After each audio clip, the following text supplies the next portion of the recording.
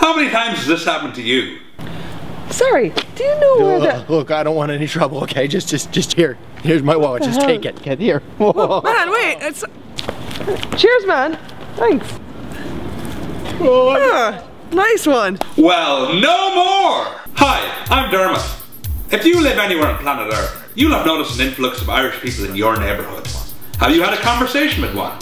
Have you been confused? I bet you have.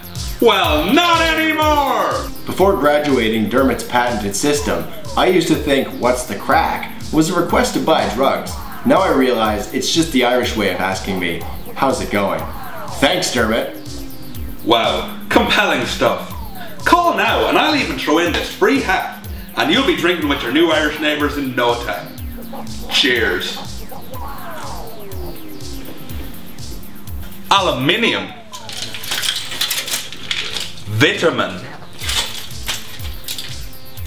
Crack. Aluminium. Vitamin. After graduation, I'll even follow you around for a week, just to make sure you don't get confused with your new Irish neighbours. All I ask is that you feed me once a day, and bathe me occasionally.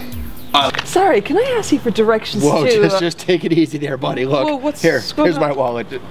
No, can I have the water no. What? She's just asking for directions. Uh, directions. Directions. Could you tell her I said hello? You're, you're, kidding, right? He says hello. Hello. What did she say? She said hello. Uh.